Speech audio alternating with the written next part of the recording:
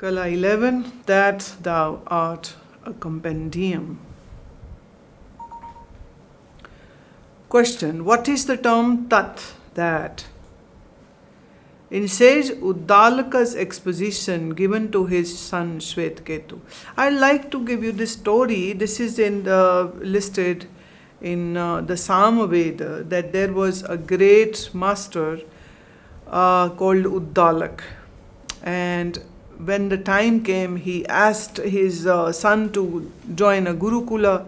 So, after finishing his studies in the Gurukula, the son came back after good 20 years. And then the father asked his son that, Have you known that after which nothing else is left to be known? Shvetketu said, Well, I have uh, read about astrology and Rig Veda and Yajurveda and Samveda and Atharva Veda. I have read all about uh, Ayurveda, the, but I haven't known such a thing that after knowing that, everything gets to be known. Uh, Guru, the father said, then your studies are not complete. You are not yet a Brahmin. Shvetketu said, You are Brahmin, you are my father, I am born to you, so obviously I am a Brahmin. Uddalaka said that no, until you attain Brahma, you cannot be called a Brahmin. You are not a Brahmin. This example of Samved should be, I believe, um, advertised and exhibited on all platforms. See, this Samaveda, so part Chandogya Upanishad, is a classic example that our country never believed in. Our forefathers, our sages, our rishis, and the lineage never believed that you become a Brahmin just because you have been born in a Brahmin family. But by the time the, the Dwapar came, the Sri Krishna time, things were already getting bad and uh, again the classic example is Karna who was a warrior but he was not being given education uh, of uh, the archery because he was not a prince and he was not uh, from the warrior clan. And now it is a Kali Yuga, so things are much more bad. But still, I believe that if somebody will go back to Vedas, they will find that the best society uh, idea is right there. And so Uddalak uh, then asked his son to go back, and Shvetketu went. Again, approached his guru that my, my father has asked me a question, why haven't you taught me that? The guru said that for this, your father is the most correct person. I cannot give you this. Now see the beauty and the humbleness of his guru. I can I cannot teach you this. For this it is better you go back to your father but not like a son but like a disciple. So the tradition was holding the uh, wood sticks, samidha, because the the sages would do the Agni Agnihotra, the fire ceremony, morning and evening. So that dried wood was considered to be as symbol of surrender. So Shvetketu, uh, with the Samida in his hand, went back to his father, offered him the Samida, did his Dandvat Pranam, you know, the full staff prostrations, and then he asked for the, that please accept me as your disciple and give me that teaching of Brahm, after knowing that, everything will be known. So, when the Uddalak spoke to his son, and that's that's the teaching what he gave, right? So now, now we go into those. In sage Uddalak's exposition given to his son Shvetketu, in the sixth chapter of Chandogya Upanishad, on the Mahavakya, the great aphorism, Tat Tvam Asi. This is the teaching what he gave. Tat Tvam Asi. The first word of this statement is Tat, that. What is the term Tvam? In the Mahavakya Tattvam Asi, the second word is Tvam, thou, meaning you. What is the meaning of the terms of Vachyarth and the Lakshyarth? The association of a Shabda with its Artha meaning is known as the Shabda Vritti. Shabda Vritti. Vritti is again of two types. One is Shakti Vritti and Lakshana Vritti. Shakti Vritti is the direct association of a word with the power to fathom its literal meaning is called Shakti Vritti. And Lakshana Vritti, by knowing the literal meaning through Shakti Vritti, fathoming the con- contextual association of the word with its implied meaning is called Lakshana Vritti. So in Lakshana, yes, the base of the Shakti Vritti is there. The literal meaning of that word is there. But then we move further and then contextual, in context to that word, there is an association of this word to a thing. What is implied? When that implication is understood, that is called Lakshana Vritti. In the above, the meaning known through Shakti Vritti is called Vachyartha of the Shabda. It is also known as Shakyartha and Mukhya Artha. The meaning known through Lakshana Vritti is called Lakshyartha. So Lakshana Vritti and Shakti Vritti. The Shakti Vritti will define the word as literally as it is. And it has a direct association. You don't need to think too much. Like say, what's which is the flask? This is the flask. You see it and you know it. Okay. Now the association is there. You know already the object, and that object was given the name. This is the name. So without a name, there is no object. Or if you see an object, you'll ask, what is it? Very natural. So when the answer comes in, that is called the Shakti Vritti. Now, whatever you have heard and understood is stored in your memory. Hence, whenever you see that object again, the memory power comes back and gives you that literal meaning, the Shakti Vritti. So, Shakti also, as you know, power, the power of the Vritti, the power of the mind to relate with a word and directly have a contextual association with that object but there is some implication also then this very shakti vritti converts into lakshana vritti what are the types of lakshana vritti lakshana vritti is of three types jahat ajahat and bhag tyaga how to comprehend the three types of lakshana with exemplification. Disregarding a word's literal meaning and considering only its contextual reference or implied meaning is its jahat lakshana. For example, a man asked someone, Where is the cowshed located? The fellow impl- replied, The cowshed is in the Ganges.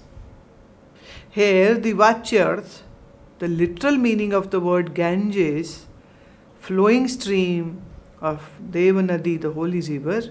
However, it is not possible for a cowshed to literally exist in the flow of the Ganges.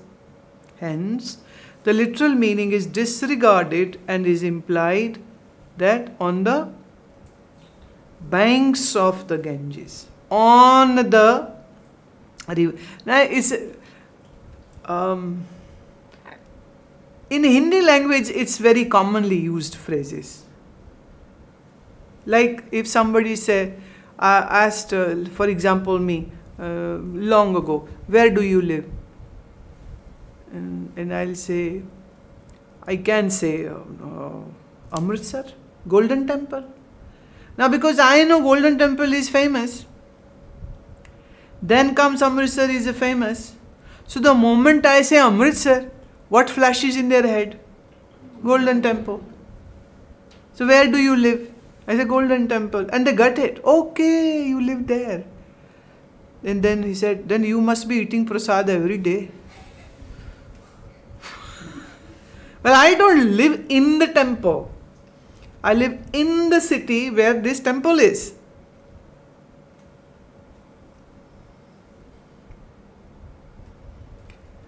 When the implied or the contextual meaning is imbibed without discarding the vachyarth, that is called ajahat. For example, a man says red runs. Huh? Oh, Red Bull. red runs. Hey? Uh, here the literal meaning is in an absurdity. Thus, the extended implied meaning is deduced a red colored horse is running. In this manner, the literal meaning of the word red is not discarded, rather, its contextual reference to a horse is inferred as well. Right? In Jahat, we are leaving, but in Ajahat, we are not leaving, but we are taking that red color as given in the example and then putting it on some horse you know or a brown oh, um, UP, Punjab, you know, may, like if a child is born with little dark skin, will be named Kala, black. So if the boy is running, they say Kala is running. If somebody is born very fair, will be named Gora. Gora means white. So if so if uh, the Gora Gora is running. So we now the white color cannot run. That color must be on somebody which is running. But in in general terms, these these things are. I always remember this when I say Gora Kala. I always remember in Taran Taran I met a boy. He was like a help in a shop and his color was more black than the girdle and this all sweat on his forehead and that too is shining so that's that shining black colored boy and i just asked what's your name? He said gora. So how come? Now the mother, out of love, you know, affections for her, the son is uh, Gora.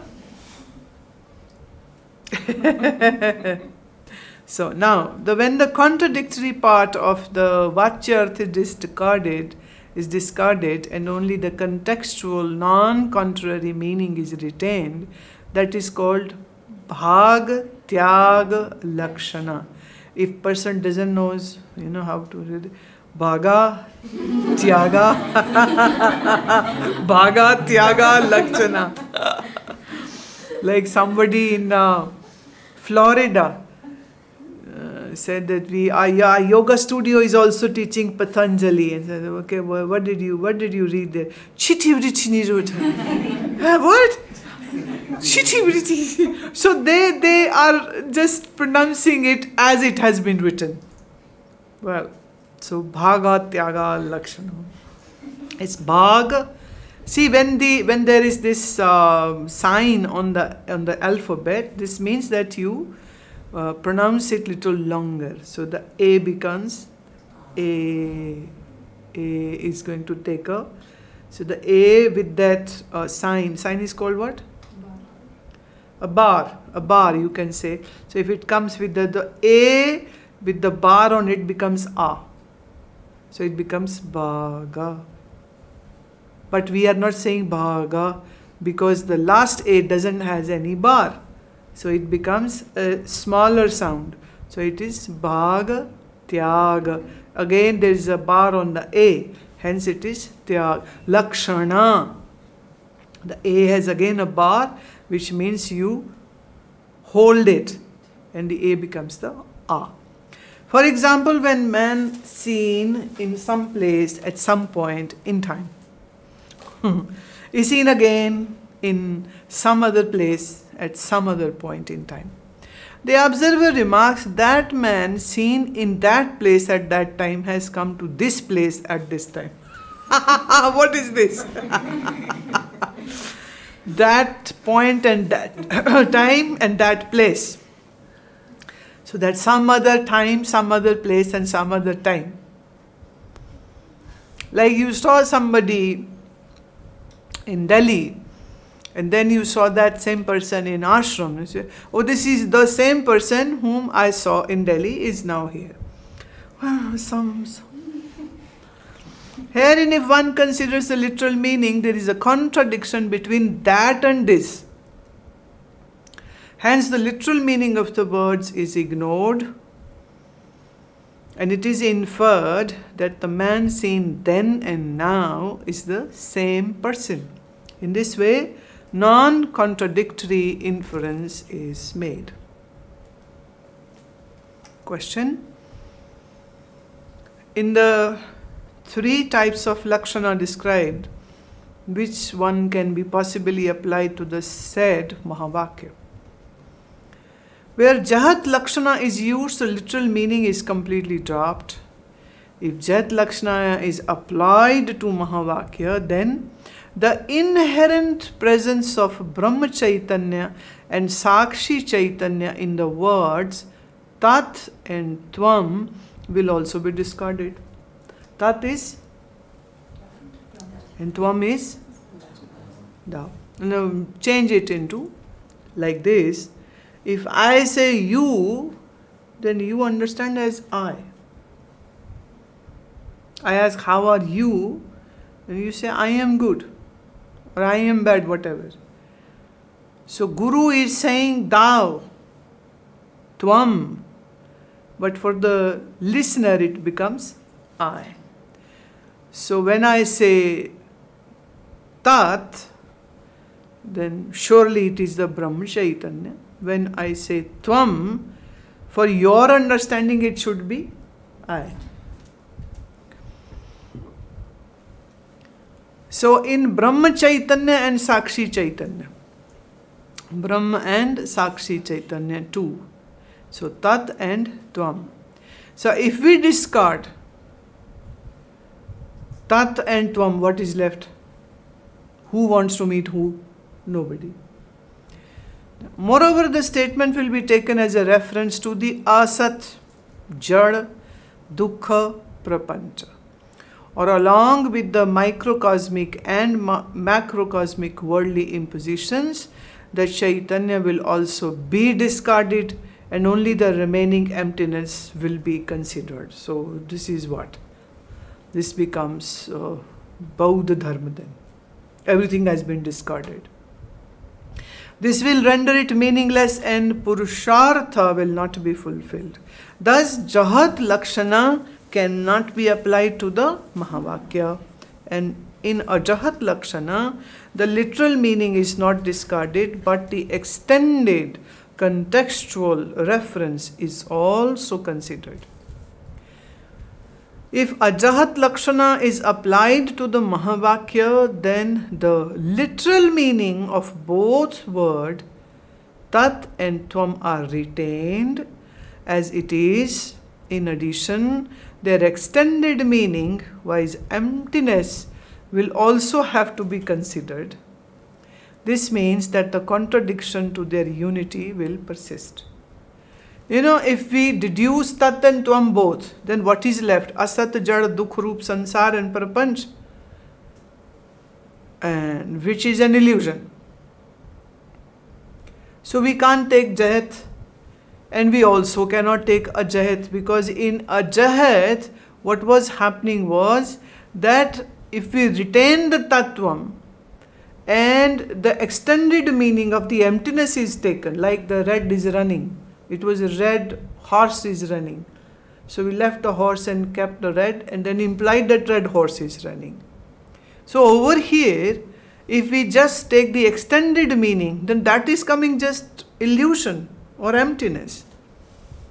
It's uh, so with then again there aren't any two left who have some common factor with which we can establish the unity in between the Sakshi Chaitanya and the Brahma Chaitanya. Thus, application of this Lakshana will not fulfill the objective. Therefore, a Jahat Lakshana cannot be used for Mahavakya.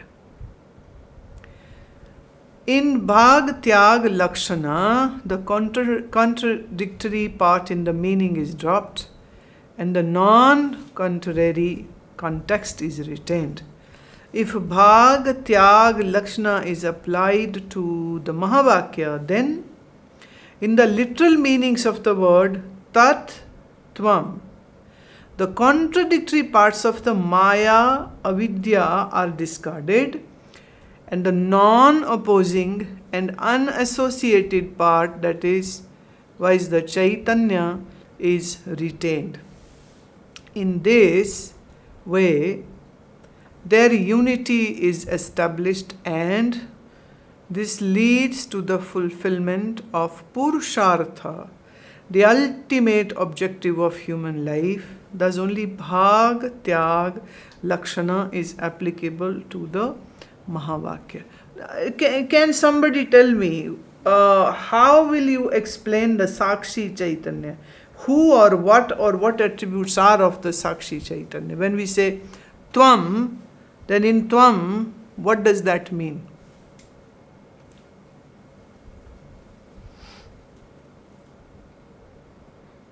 how is this tvam formed Ipsa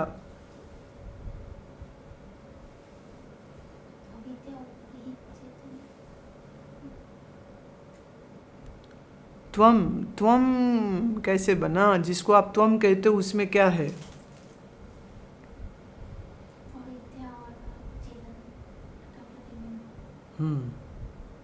And when we say Ishvara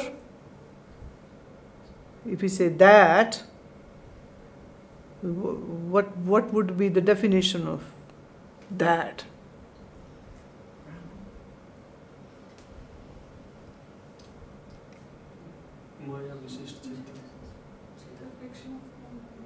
Reflection of Brahma in the Maya.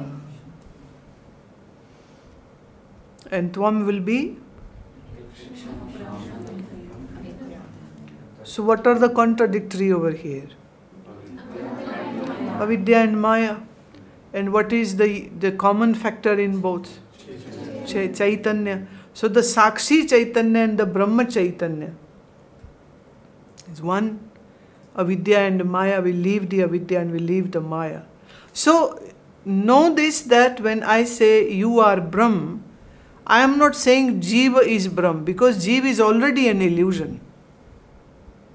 If you see this, this I as a Jiva, then definitely you are not Brahm. Point is, where are you standing? Where are you standing? In body, in mind, you are definitely not Brahma. Because that contradictory part, if is not discarded, the Bhagtyag Lakshana Vritti has to be applied. The contradictory has to be removed away. Now, this cannot be understood if you have not done the rest of the work which we have explained in the 10 chapters earlier. So, if your intellect is still a Dumbo, body obsessed with body consciousness, then actually this book is not for you at all. I know your ambitiousness says when everybody is reading, why can't I also read? Okay, now let me say it like that. Tomorrow, only those walk in, those who think that they are prepared and they have the eligibility.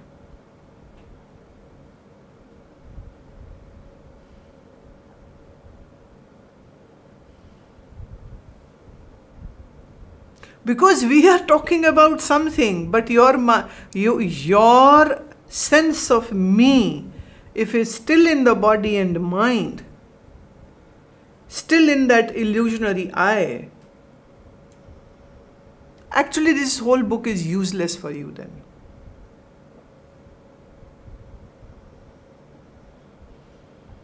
Absolutely useless.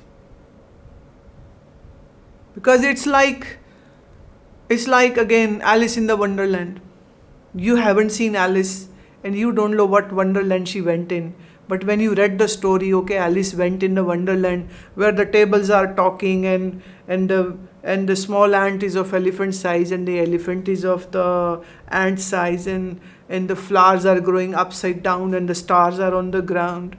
You know, all that weirdo things which the Alice saw.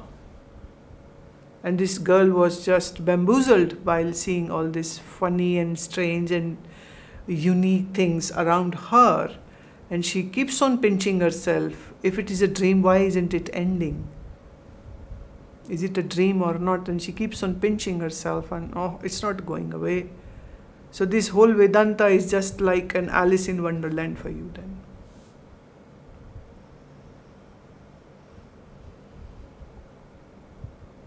it's not that you just uh, understood the words which are being written here and i am i am speaking and explaining to you that what it means. But point is where, where are you standing?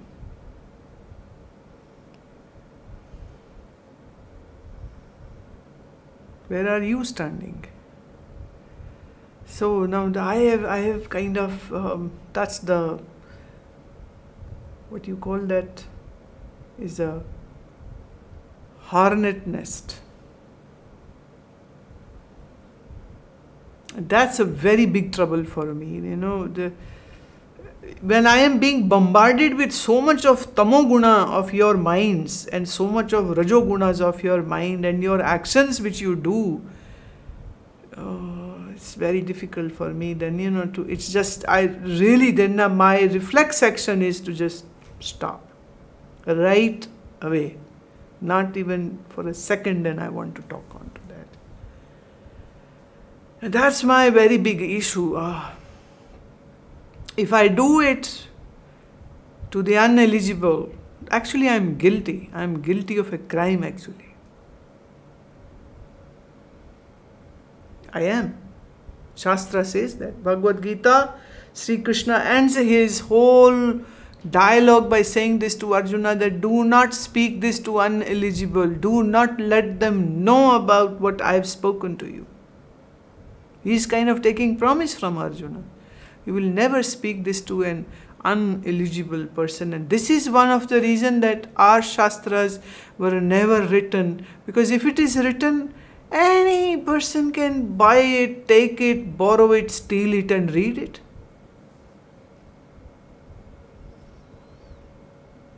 The Guru would only speak when the Guru would see that the disciple is ready for it. It might take 12 years, it might take 20 years of doing yoga asana and pranayam and seva and, and the general conduct of that person. What is the general conduct of that person? How violent or how skeptical, how doubtful, how dirty the mind is, and if with that very mind this is this is all read, and maybe the, you know you can you're not a fool, so you, so you can grab what I'm speaking and making you understand with all the efforts. But will, will this be of any use then?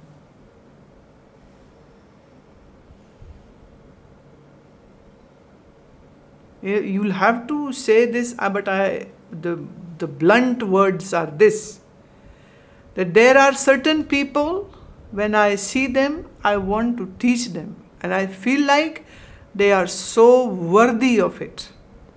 But sometimes some faces and some individuals are not at all.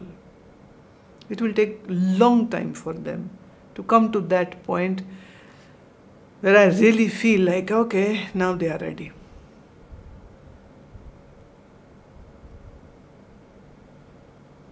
This is not a general information which you can just hoard in your brains and be proud. Oh, we have done Vichar Chandrodaya. It's not like that. Like the water doesn't vaporizes until it comes to 100 degree of temperature. Similarly, until the mind is that pure, that translucent, that much filled with sattva guna, this gyan isn't going to um, vaporize your darkness, your agyana will still stay there. It won't go away. And then you would wonder, what change happened in me? Nothing. Did I get permanent? No. Am I feeling I'm flying? No. Then this means it was just a sham what they said that you will get permanent when you will know Brahm. And here I have now known I am Brahm, but I am not feeling any permanent. If your if your head is still confused with the fog of questions and this cloudiness is still there, then what has cleared? Now, is that some incompetence on my part? Because I am speaking, so I can easily say no. No, there's no incompetence on my part. Is there incompetence in this Vichar Chandrodaya book? It's not. It's a great book is a gem of uh, Vedanta in uh, regional language, then where is the incompetence?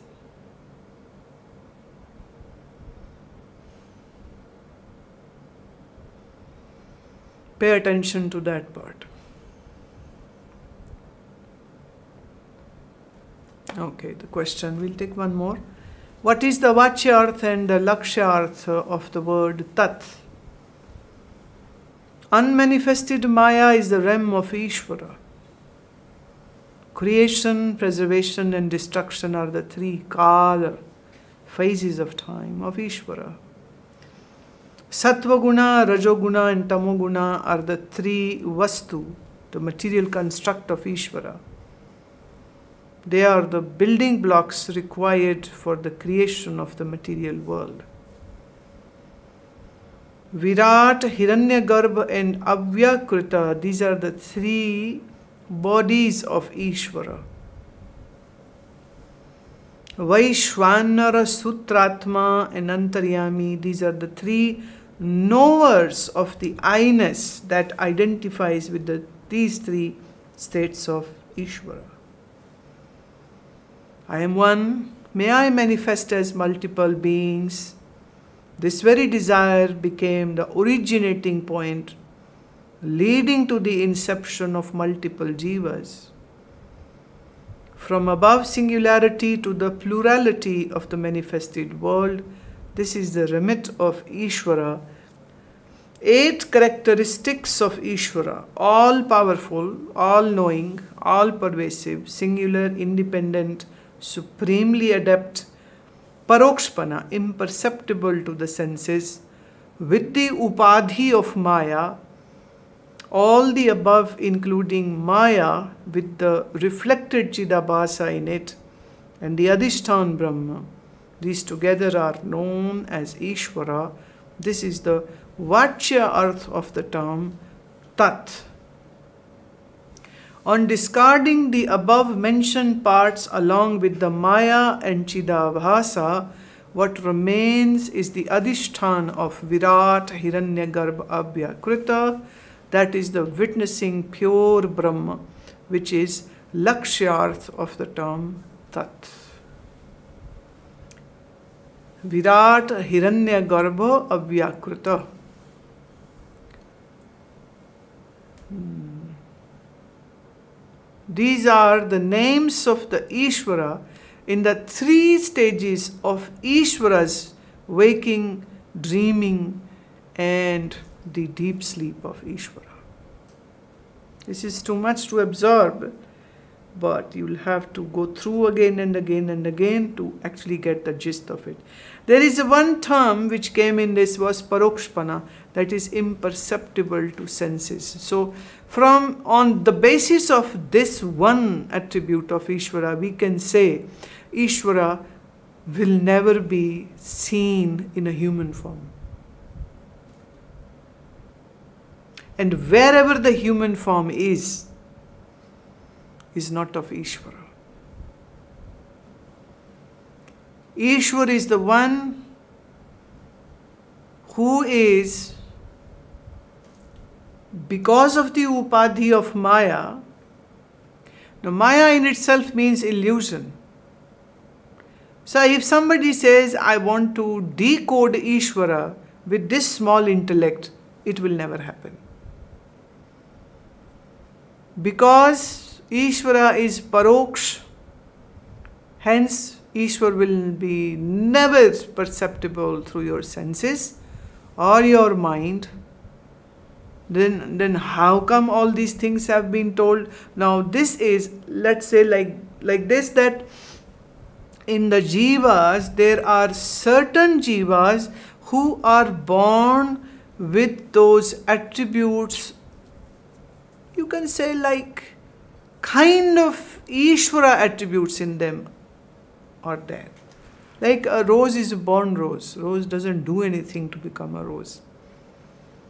In jivas also there are there were certain individuals who were born in the human form, but they were those who were like kind of all knowing. They knew about everything. They were all powerful. See, in, in our Puranas, they are talking about the, the quantification of earth, water, fire, and all. How did they come to know? Our astronomy, the Jyotish Shastra, is talking about the movement of the planets, the axis of the planet, the gravity rotations calculations of our earth, the north and poles calculations are there. And it is going into not just the at the level of the seconds it's also going into the microseconds. How how did the rishi bhrigu understand all this there were no telescopes so how did he come to know that there is a ring around the saturn how did he know what is the constituent of Jupiter and how the energies of the Jupiter or Saturn or Moon will have this particular effect on the body? So, not only they understood the five elements, they also understood the energetics of these elements and the heavenly bodies which got created by these elements. Is there any, is there any, um, you know, limit to their knowing? If we see the Ayurveda, then um, Ayurveda, for example, the Ashtanga Hridayam is talking about the properties of water, and there are at least 20 types of water which have been talked about, right from the rainwater to cloud water to dewdrop to rivers to waterfalls, to oceans, to water in the wells and water in the different geographical regions, what is the property of the water. Same goes for the grains and the pulses and the vegetables and the herbs and about the different seasons, the six seasons which we have in Bharat. And, and they are talking about so detailed and some of those herbs are today extinct we can't even find those. And, and they, are, they are telling us all about that. How did they know all that? So that's why in the jivas, there are certain who have these Ishwariyata. You know, it's like Ishwar. They are like Ishwar. And that's why we consider Sri Krishna as the incarnation of the Ishvara. When we say Ishvara, then, then there is again a name form behind that. That is a Vishnu. Is the incarnation of Vishnu. So all powerful, independent, supremely adept, has upadhi of Maya. But Krishna is pratyaksha, he is not paroksha. So is Ram, so is Shiva, so is Parvati. If you go into Shiv Purana, then Shankar and Parvati now and then they are going into tapasya. They are they are saying they are leaving everything and they say, okay, now I am going into tapasya. And when they go in tapasya, then they nobody knows when they'll come out of that samadhi. How many kalpas they will stay in that samadhi? How is it possible? The body has very small duration to live and, and they are doing sadhana for kalpas this means that they knew something more than what you, the hum, human beings, still don't know. That they had an understanding of kind of holding the aging of the body in certain way that they could use that same body for many many kalpas. Or should i say they knew the science of kaya kalpa and we have many examples in our Puranas where the, the, the Rishi, Rishi Chavan, for example, um, he his body was getting old and frail and and one day he sits down to think that how can I change this body? And that is, it is said that in meditation then he made this uh, equation of certain set of herbs and a procedure and in that procedure this this special uh, paste like thing was was uh, made and then he in there there's a huge there's a very large and extensive detail about how his hut was how his this was how his day and nights were and there was a discipline which he was following al- along and then he ate that that paste, that prash which was made. And then his body became young and vibrant back again. And that paste or that prash is what you call chavan prash. But you can now buy a chavan prash in a quintals and eat all that. You might die with dysentery and diarrhea or maybe other complications, and the youth won't come to you. What went wrong? So it is not just the Chavan Prash, the, that Rishi Chavan was doing something else. We changed his body from old to young back again. And then they could, they could uh, elongate their life for as long as they want. Hence the Shankar is always there. Krishna came, Krishna went back but Vishnu is there. We say there there are these Vishnu and and okay this Vishnu and Krishna and and Brahma and all these three major deities of the Hindu uh, belief system says that Brahma, Vishnu, Mahesh. Now we have so many stories where Vishnu is is seen and then and then Shankar is met and the, the, devotees are getting the divine darshan and everything. But here the Shastra of Vedanta is saying that Ishwar is Paroksh. This means all those forms which might have happened for a small or a long duration. When I say long, then it's many, many kalpas in which they were they were existing with those particular bodies that same similar body, no change in that body. But still, Vedanta says that which can be seen is not Ishvara, but might have the all the Ishwar attributes in it.